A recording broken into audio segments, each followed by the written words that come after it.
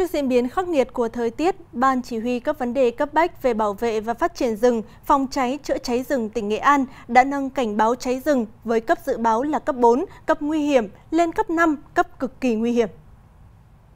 Ban chỉ huy đề nghị chính quyền các địa phương, lực lượng kiểm lâm, các đơn vị chủ rừng phân công lực lượng thường trực 24 trên 24, các đội kiểm lâm cơ động và phòng cháy chữa cháy rừng, các chủ rừng duy trì chế độ thường trực tại các tròi canh lửa. Nếu xảy ra cháy rừng, lãnh đạo cấp huyện phải có mặt tại hiện trường để trực tiếp chỉ đạo, điều động lực lượng, phương tiện, hậu cần và chỉ huy chữa cháy theo phương án đã được phê duyệt.